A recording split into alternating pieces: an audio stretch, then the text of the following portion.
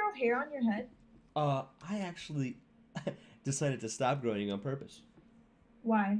because the Earth is flat, and having no hair gives you the ability to have passage. Something you would never Are you- understand. Can I ask you a quick question? Make it as long as you want. I have infinite time. You have infinite time. Mhm. What? How do you have infinite time? Do you not have? Do you have a job? Because I actually know the truth, unlike you three. Oh, okay. Yes. So What's the truth? the truth? Yes.